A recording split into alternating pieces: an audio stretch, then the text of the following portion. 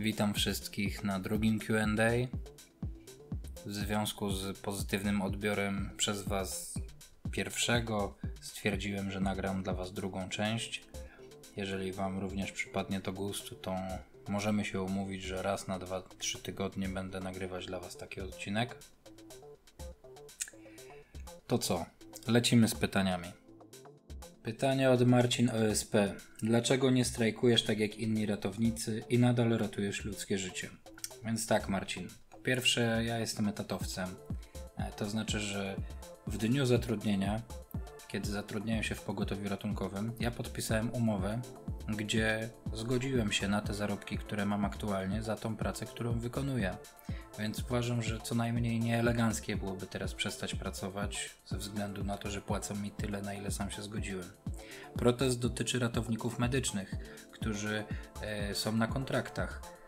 Oni prowadzą własne działalności gospodarcze i wystawiają pogotowiu co miesiąc fakturę za przepracowane godziny. Od tej faktury muszą zapłacić podatek i oprócz tego muszą opłacić sobie ZUS.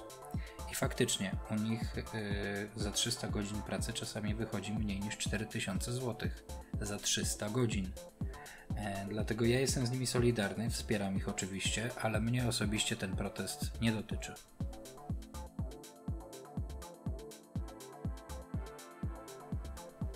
Następne pytanko od Hello I am Nick. Hej, ile tak mniej więcej kilometrów zrobisz na jednym dyżurze? Szacun i pozdrawiam. E, więc to wszystko zależy jaki dyżur. E, miałem takie dyżury, że nawet nie wyjechałem karetką, więc 0 km. Miałem takie dyżury, że robiłem 7, 9, 30, 70 km. Mój rekord to jest 217 km i ten rekord pobiłem w tym miesiącu jeżdżąc tylko i wyłącznie po Warszawie. E, również pozdrawiam.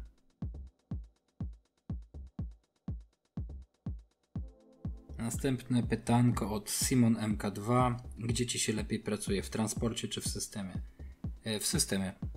Bezapelacyjnie w systemie. To jest praca, gdzie każdy wyjazd jest inny. E, w transporcie raczej jest taka monotonia.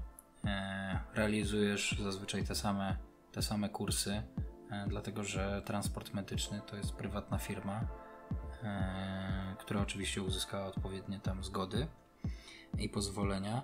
E, no ale ta firma startuje do przetargów do konkretnych instytucji i jak wygra taki przetarg, to realizuje te transporty przez określony okres czasu, więc e, regularnie jeździsz do tych samych szpitali między stacją krwiodawstwa a szpitalami. E, I tak to mniej więcej wygląda. W pogotowiu ratunkowym każdy wyjazd jest inny.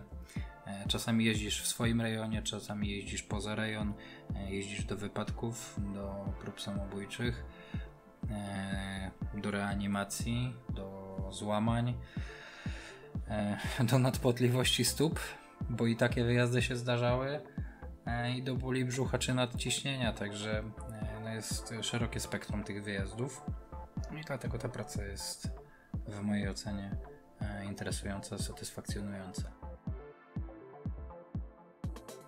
Następne pytanie od Jakub Poświata. Czy są już godziny na stacji?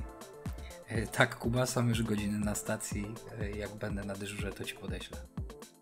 Musicie mi wybaczyć e, czasami jakieś przejęzyczenia, dlatego że nagrywam te pytania dla Was w formie tak jakby live'a, dlatego że to, o czym pomyślę i to, co nagram, to już zostawiam.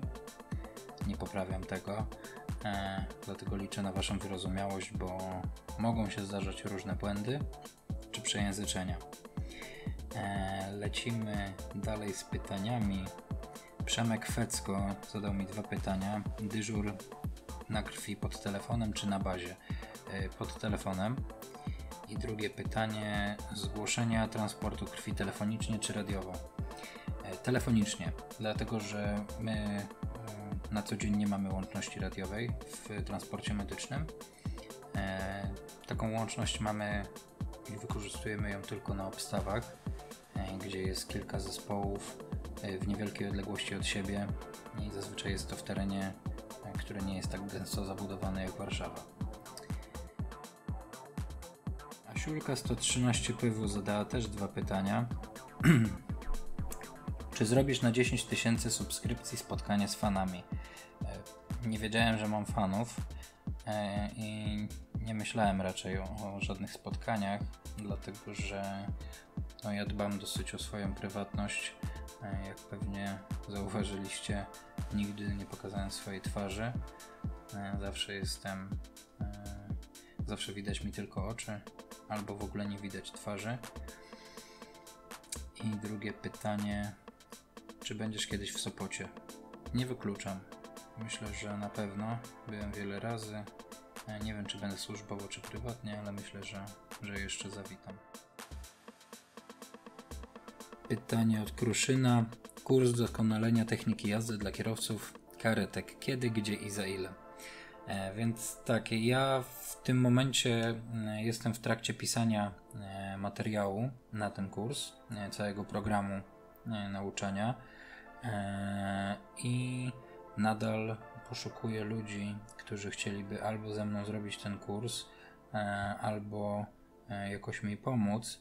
E, oczywiście szukam tych ludzi spośród swoich znajomych, którzy są w mojej ocenie autorytetem w danej dziedzinie. Więc nie wiem jeszcze kiedy to będzie i nie wiem ile to będzie kosztować.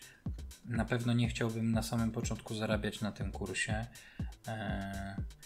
chciałbym raczej, żeby e, udoskonalić to, zrobić ten kurs, zobaczyć jakie są błędy, e, gdzie są jakieś braki i zrobić to po prostu jak najlepiej się da.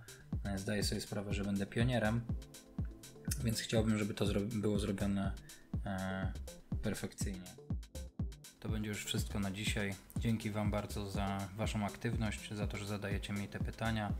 Jeżeli podobało Wam się to QA, to zachęcam Was do zostawienia pytań pod tym filmem do następnego. E, I pytania, które będą miały największą ilość polubień, to właśnie na nie postaram się odpowiedzieć w następnym filmie. Także jak przystało na kierowcę karetki, życzę Wam widoczności. Trzymajcie się.